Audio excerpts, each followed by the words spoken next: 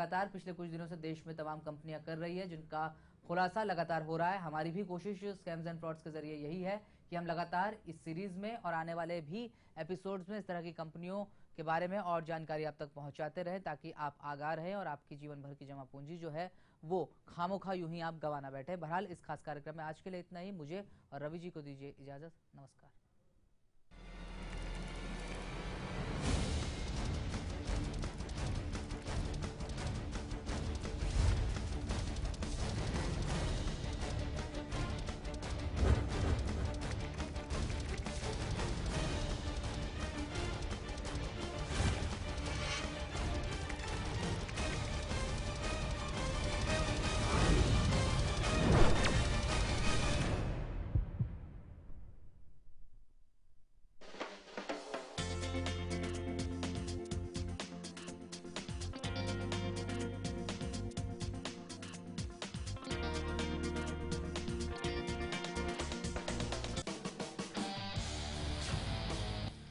Fraud में फंसा है आपका पैसा। क्या स्कैम में उलझी है आपकी रकम? नमस्कार मैं हूँ Ravi Nathani don't wait for a longer period because नहीं तो वो टाइम बाद फेस में चला जाएगा और फिर आप कुछ नहीं कर पाएँगे। क्या आपके साथ भी किसी कंपनी ने किया है धोखा? कंपनी को बोले boss this is the limit you have to give my money back consumer ने हमें कंप्लेन दी कि मेरे पैसे बैंक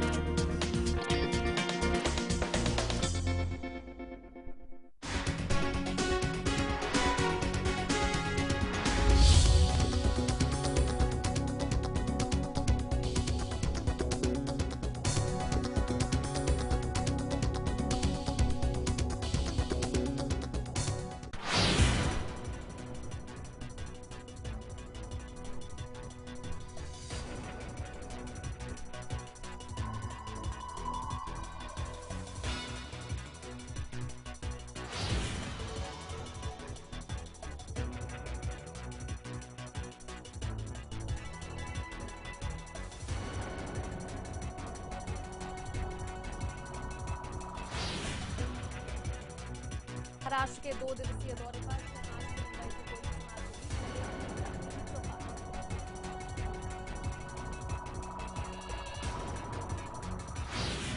और आम आदमी पार्टी के संयोजक अरविंद केजरीवाल मोदी के गढ़ गुजरात में चार दिवसीय गुजरात दौरे पर केजरीवाल, मोदी के विकास मॉडल का लेंगे जायजा।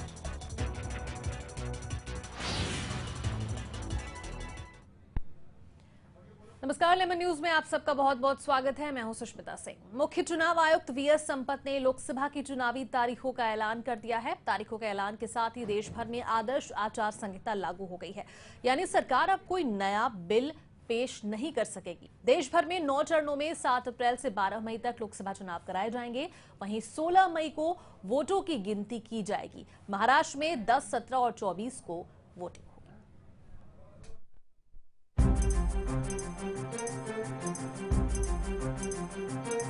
चुनाव आयोग ने लोकसभा चुनाव की तारीखों का ऐलान कर दिया है। इसे लेकर दिल्ली में हुई चुनाव आयोग की प्रेस कॉन्फ्रेंस में मुख्य चुनाव आयुक्त वी एस संपत ने तारीखों और तैयारियों का ऐलान किया है। संपत ने कहा है कि लोकसभा चुनाव के साथ तीन राज्यों आंध्र प्रदेश, ओडिशा और सिक्किम में विधानसभा चुनाव भी होंगे।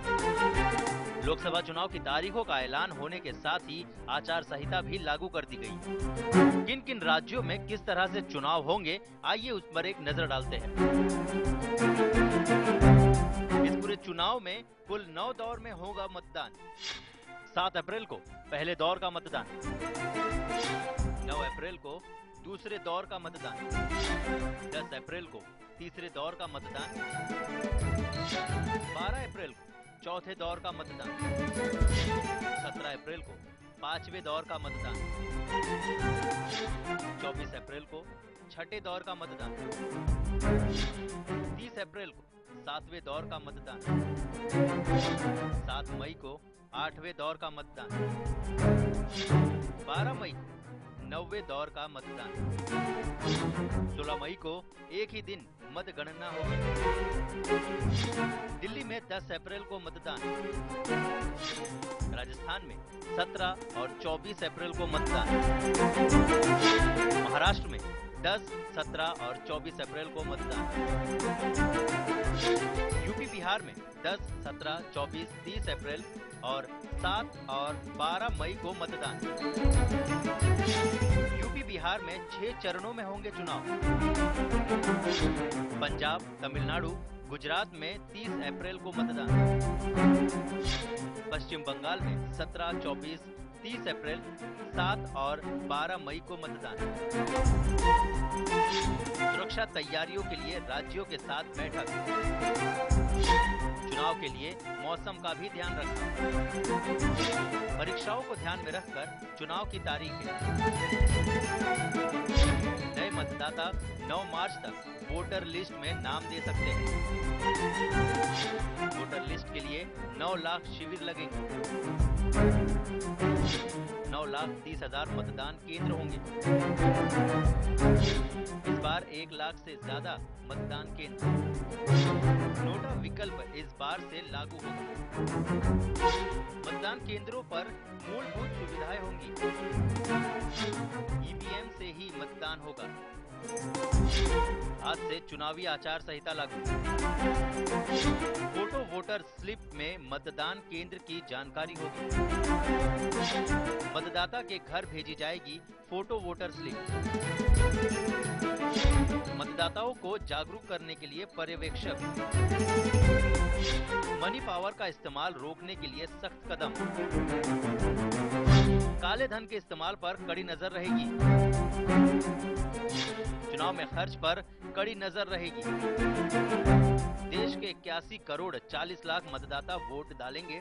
पिछले चुनाव के बाद पौने 10 करोड़ नए मतदाता बनेंगे। लोकसभा उम्मीदवार के चुनाव खर्च की सीमा बढ़कर 70 लाख रुपए हो गई। 2011 में चुनाव खर्च की सीमा 40 लाख रुपए ही थी, जबकि 2009 में चुनाव खर्च की सीमा 25 लाख रुपए थी।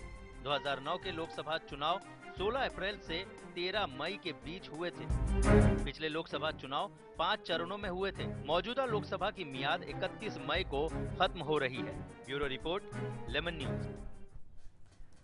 तो चुनाव आयुक्त वी एस संपत ने दिल्ली में प्रेस कॉन्फ्रेंस की जिसमें लोकसभा चुनावों की तारीखों का ऐलान किया गया और क्या कुछ निर्देश दिए हैं वी एस संपत ने आइए देखते हैं। Will be poll days. The third poll day will be on 10th April, which will cover 14 states and 92 parliamentary constituencies. The fourth poll day shall be on 12th April, covering three states and five parliamentary constituencies. The fifth poll day will be on 17th April, covering 13 states and union territories and 122 parliamentary constituencies. The next sixth poll day shall be on 24th April covering 12 states and 117 parliamentary constituencies. Seventh poll day shall be on 30th April covering nine states and 89 parliamentary constituencies. Eighth poll day shall be on 7th May covering seven states and 64 parliamentary constituencies. The last one being ninth poll day shall be on 12th May covering three states and 41 parliamentary constituencies. Therefore, in nine poll days, we will be covering 543 parliamentary constituencies and respective assembly constituencies in those three states as also we have a few by-elections to state assemblies in different states. All this will go to the polls on the same date as the parliamentary, no, the respective parliamentary constituency. Counting for all this shall take place on 16th May, Friday. It is expected counting will be over in a single day. Maharashtra will have three poll days 10th April, 17th April, 24th April. I have already mentioned to you counting for all parliamentary constituencies, general election to state assemblies, and by-elections to all the state assembly constituencies. All these will go along with respective parliamentary constituencies on the same day as per the same schedule. For all these, counting shall be had on 16th May. Now,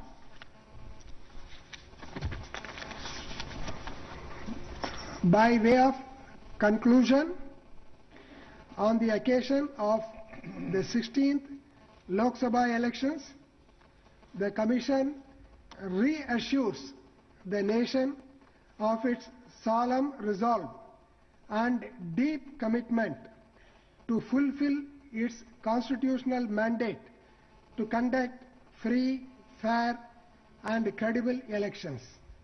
The Commission exhorts the 11 million plus election machinery to dedicate themselves to the tasks associated with the conduct of elections as a sacred duty. The Commission appeals to all stakeholders and in particular the political parties and candidates to uphold the peerless democratic traditions of the nation by maintaining high standards of political discourse and fair play in course of their election campaign. Finally, Commission would make an earnest, fervent appeal to all voters to reinforce the democratic ethos of the nation by turning up at polling stations and exercising their right to vote in an informed और यहाँ रुकेंगे एक छोटे से break के लिए break के बाद कुछ और खबरें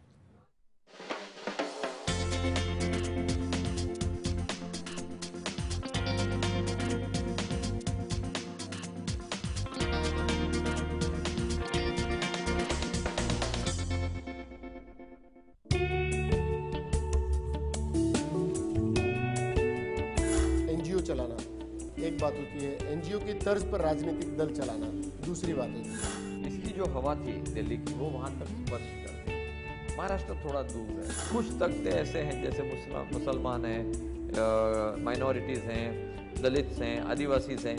इनको थोड़ा फास्ट ट्रैक के ऊपर ग्रोथ करनी चाहिए। मयंक गांधी से खास बातचीत। देखिए सिर्फ़ लेमन न्यूज़ पर। बुधवार शाम 6 बजे और रात 11 बजे।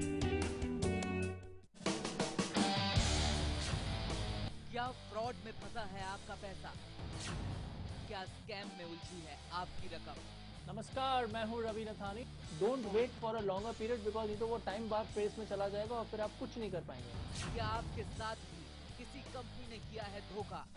कंपनी को बोले boss this is the limit you have to give my money back consumer ने हमें कंप्लेन दी कि मेरे पैसे बैंक ने लूट लिए हैं। स्कैम्स एंड फ्रॉड की टीम आपको देगी पूरी मदद। हमारी पूरी टीम इस चीज़ को इन्वेस्टिगेट कर रही है एक एक पन्ना पढ़ रही है। स्कैम्स एंड फ्रॉड रोज़ाना शाम सात बजकर सत्ताईस मिनट पर रोज़ाना दोपहर दो बजकर सत्ताईस मिनट पर। समय का टॉर्चर तो सभी सहते हैं पर टिकते वही जो समय के साथ बहते हैं। जब तारे और टैरो का कनेक्शन हो तो हर कार्ड कुछ कहता है। मेरे यानी क्रिस्टीना सैकिया के साथ। देखिए तारे टेरो एंड टिप्स हर रोज लेमन न्यूज़ पर.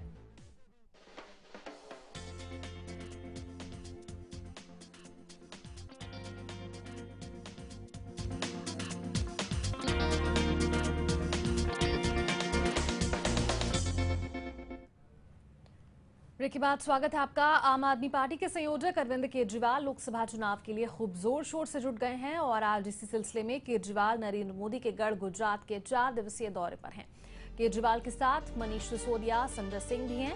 केजरीवाल इन चार दिनों में मोदी के किए विकास को परखेंगे। केजरीवाल अपना प्रचार अहमदाबाद से भुज तक करेंगे।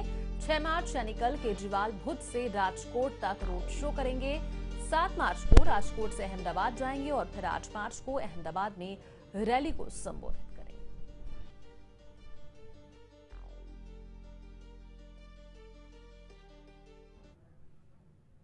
पिछले लोकसभा चुनावों में कांग्रेस का गढ़ साबित हुई मुंबई के किले को फिर से बचाने के लिए कांग्रेस उपाध्यक्ष राहुल गांधी आज महाराष्ट्र के दो दिवसीय दौरे पर हैं। मुंबई के मूल निवासी रहे कोली समाज के लोगों के साथ 6 मार्च को अंधेरी के वर्सोवा बीच पर अपनी चुनावी चौपाल लगाने वाले हैं। अभी तक कोली मतदाता कांग्रेस से दूर ही रहे हैं, लेकिन कोली मतदाताओं को अपने पाले में खींचने की कांग्रेस की इस पहल ने दूसरे राजनीतिक दलों को चौंका दिया है।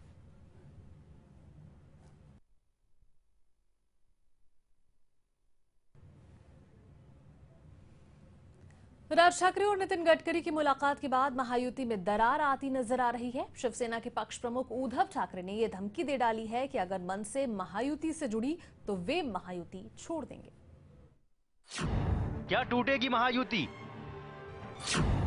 क्या महायुति में शामिल होंगे राज?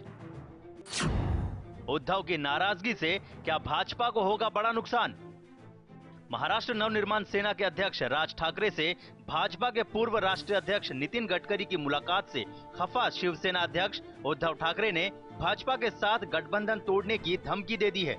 उन्होंने भाजपा के वरिष्ठ नेताओं से गडकरी द्वारा सूबे के वोटरों में भ्रम की स्थिति निर्माण करने पर नाराज़गी भी व्यक्त की है।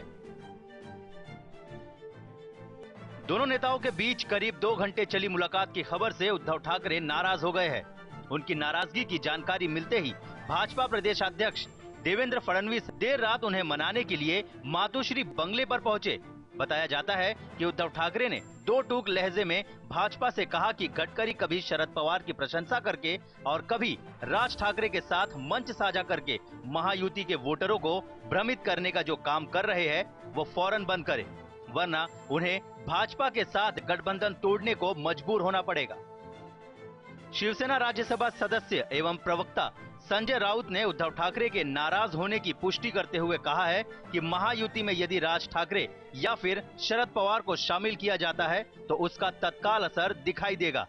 उन्होंने साफ़ साफ़ शब्दों में कहा कि महायुति में राज ठाकरे की कोई ज़रूरत नहीं है। राउत ने कहा कि शिवसेना से मराठी वोटरों को तोड़ने की हिम्मत किसी भी दल में नहीं। 2014 में होने वाले लोकसभा चुनाव में महायुति कांग्रेस और एनसीपी गठबंधन को पराजित करके सूबे की 48 में से कम से कम 40 सीटें जीतेगी। शिवसेना प्रवक्ता ने भाजपा को याद दिलाया कि शरद पवार का विरोध किए जाने की वजह से ही महायुति में निर्दलीय सांसद राजू शेट्टी और पश्चिम महाराष्ट्र के प्रभावशाली नेता महादेव जानकर जैसे लोग शामिल हुए हैं। अब ऐसे में यदि भाजपा की ओर से कोई गलती होती है तो उसका बड़ा नुकसान भाजपा को उठाना पड़ सकता है। Bureau report Lemon news.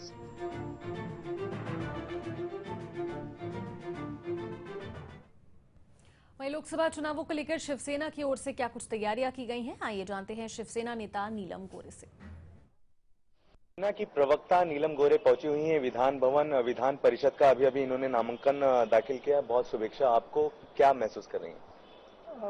एक तो मन में बहुत एक सुकून है कि पक्ष प्रमुख जो है उद्धव साहब ठाकरे, उन्होंने फिर मुझे तीसरी बार विधान परिषद में आने का संधि दी है, मौका दिया है। लेकिन बहुत दुख होता है। मैं चार दिन से जब से मेरी उम्मीदवारी घोषित हुई है, हर रोज मैं अतिशयोक्ति नहीं करूँगी एग्जैगरेशन नहीं करूँगी। मैं बाला साहब जी ठाकरे, उनके फ़ोटो के सामने आके मैं यही सवाल पूछती हूँ कि साहब, आप अगर होते तो आप क्या कहते थे? उसके बारे में मैं हर रोज मेरे डायरी में लिखती हूँ। क्योंकि बाला साहब जी ने हर बार मुझे आशीर्वाद दिया था और हर बार ये भी पूछा था कि आ, आपको और अच्छा काम करना है। तो लेकिन खैर उद्धव साहब उनकी जो जगह है वो अच्छी तरीके से निभा रहे हैं।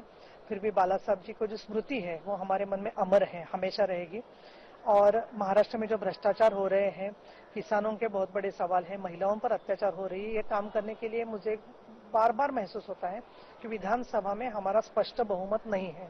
क्योंकि जो मराठी छोड़ के वोटर हैं, उसमें कुछ लोग तो हमको वोट करते हैं, लेकिन कुछ लोगों को अभी भी लगता है कि शायद दूसरे कोई पार्टी उनको ठीक तरीके से काम कर पाएगी। लेकिन अभी उनको भी ये समझना चाहिए और मुझे हमेशा लगता है कि जैसे कि राजस्थान है, दिल्ली है मध्य प्रदेश है, हर जगह पे परिवर्तन के बारे में बीजेपी को जिस तरीके से लोगों ने सपोर्ट किया तो महाराष्ट्र के भी जो वोटर्स है, उनको भी और एहसास देने के लिए हम ज़रूर कोशिश करेंगे कि यहाँ पे अगर कांग्रेस और राष्ट्रवादी उनको पराभूत करते हुए शिवसेना, बीजेपी और हमारी महायुति चुन के आती है। तो लोगों को दाम ठीक रखने के लिए हो, महिला सुरक्षा के लिए हो, सिंचन का सवाल है, पानी का सवाल है, राष्ट्रहित का सवाल है, ये सब सवालों के बारे में काम करने के लिए हमें विधानसभा में बहुमत मिलना बहुत ज़रूरी है मैम आप शिवसेना की प्रवक्ता हैं एक अलग सवाल इस तरीके का होगा कि कल देवेंद्र फडणवीस और उद्धव साहब की काफ़ी चर्चा हुई है। कहीं ना कहीं नाराज़गी महायुति से जता रहे हैं। उद्धव साहब क्या कुछ कहेंगे आप? उद्धव साहब और पार्टी के सभी लीडर्स फिर राजनाथ सिंह सर है सुषमा जी स्वराज है अरुण जी जेटली है प्रताप जी रूडी है खुद नितिन गडकरी साहब है गोपीनाथ मुंडे जी है। सबके साथ में उद्धव जी के बहुत अच्छा संवाद है डायलॉग है। और इसीलिए जो भावना होती है, वो ठाकरे परिवार जो है, बाला साहब जी और उद्धव जी, मन में एक और बाहर एक राजनीति उनका नहीं होता है। इसीलिए जो उनको लगा, वो उन्होंने तुरंत कहा दिया। और इसीलिए देवेंद्र जी फडणवीस और उनकी और काफ़ी कुछ बात हो गई। मुझे लगता है अभी आगे क्या होगा इसके बारे में नितिन जी गडकरी उन्होंने भी स्पष्टीकरण दिया है। मन से महायुति में शामिल होती है तो शिवसेना की क्या प्रक्रिया होगी? अभी इसके बारे में मैं कुछ नहीं कहूँगी हमारे पार्टी चीफ ही कहेंगे। बहुत बहुत शुक्रिया हमसे बात करने के लिए। नीलम गोरे इन्होंने आज नामांकन पत्र, जो है दाखिल कर दिया। फिर से एक नई शुरुआत की पारी जो है उसके लिए तैयार है। Dharmendra Dubey Lemon News Mumbai. और यह वक्त एक और ब्रेक का ब्रेक के बाद कुछ और खबरों के साथ। जल्द हाजिर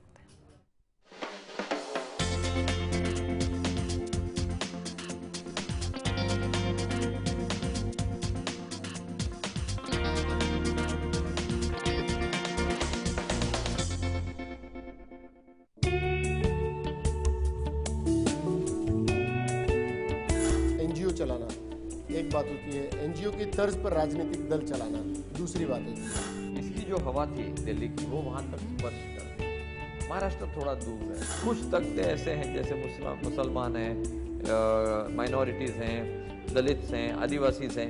इनको थोड़ा फास्ट ट्रैक के ऊपर ग्रोथ करनी चाहिए। मयंक गांधी से खास बातचीत। देखिए सिर्फ़ लेमन न्यूज़ पर। बुधवार शाम 6 बजे और रात 11 बजे। समय का टॉर्चर तो सभी सहते हैं, पर टिकते वही जो समय के साथ बहते हैं। जब तारे और टेरो का कनेक्शन हो तो हर कार्ड कुछ कहता है। मेरे यानी क्रिस्टीना सैकिया के साथ। देखिए, तारे, टेरो एंड टिप्स हर रोज लेमन न्यूज़ पर।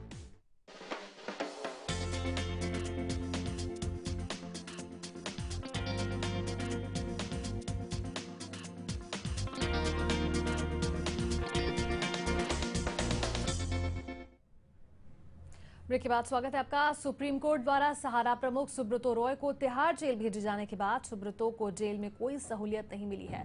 सुब्रतो रॉय ने जेल का खाना खाया और देर रात ज़मीन पर सोए।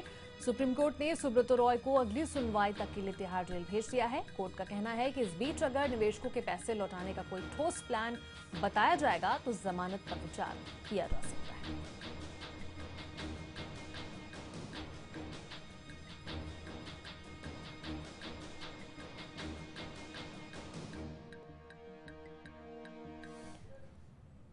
वहीं एक मार्च को हमारे खास प्रोग्राम भविष्यवाणी में पंडित राजकुमार शर्मा ने सहारा प्रमुख सुब्रतो रॉय के ऊपर भविष्यवाणी की थी, जो सच साबित हुई। उन्होंने कहा था कि सहारा श्री को तिहाड़ जेल जाना होगा।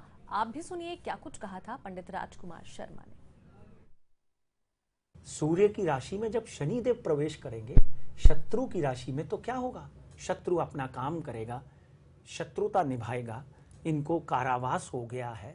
आगे आने वाले दिनों में उस कारावास की डेंसिटी बढ़ेगी। हो सकता है आज लखनऊ में है तो कल तिहाड़ में हो। क्या बोला मैंने?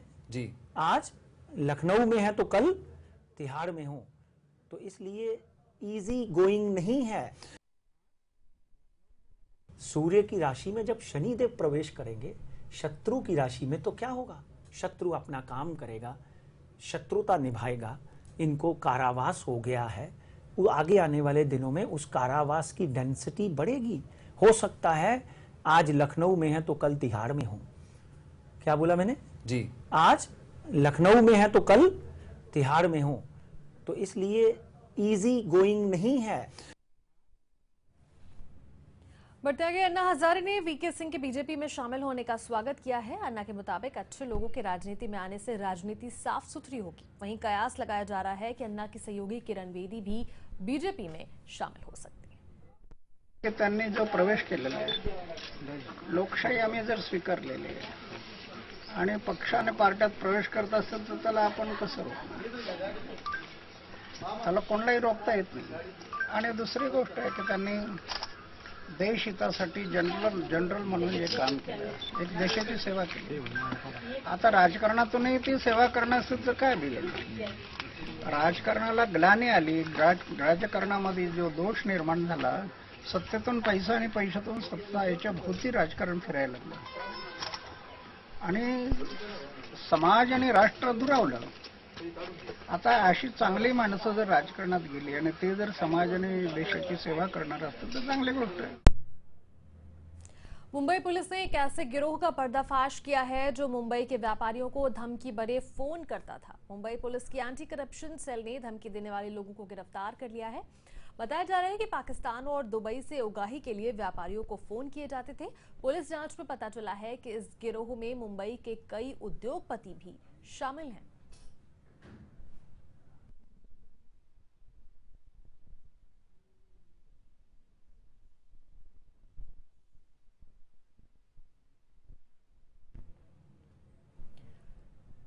राजकोट के रैया गाँव के लोगों ने राज्य सरकार के खिलाफ एक बड़ी रैली निकाली। इस रैली में आप के कार्यकर्ता भी थे। इस गाँव के किसानों की राज्य सरकार से मांग है कि उनकी ज़मीन को जल्द से जल्द रेगुलराइज किया जाए। बताया जा रहा है कि रैया गाँव राजकोट बनपा में भी आ गया है। फिर भी इस गाँव को कोई भी सुविधा नहीं मिल रही है। आम आदमी पार्टी इस आंदोलन में शामिल हो गई है। आम आदमी पार्टी का कहना है कि वो किसानों की लड़ाई में उनके साथ है और किसानों की हर मदद आम आदमी पार्टी करेगी।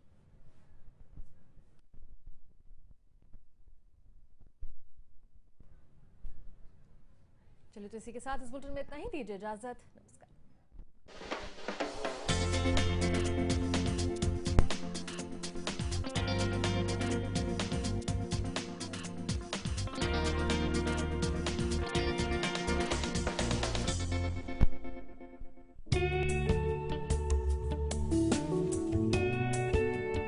एनजीओ चलाना। एक बात होती है, एनजीओ की तर्ज पर राजनीतिक दल चलाना। दूसरी बात होती है जो हवा थी दिल्ली की, वो वहाँ तक स्पर्श कर गई महाराष्ट्र थोड़ा दूर है। कुछ तख्ते ऐसे हैं जैसे मुसलमान मुसलमान हैं माइनॉरिटीज़ हैं दलित्स हैं, आदिवासी हैं। इनको थोड़ा फास्ट ट्रैक के ऊपर ग्रोथ करनी चाहिए। मयंक गांधी से खास बातचीत। देखिए सिर्फ़ लेमन न्यूज़ पर। बुधवार शाम छह बजे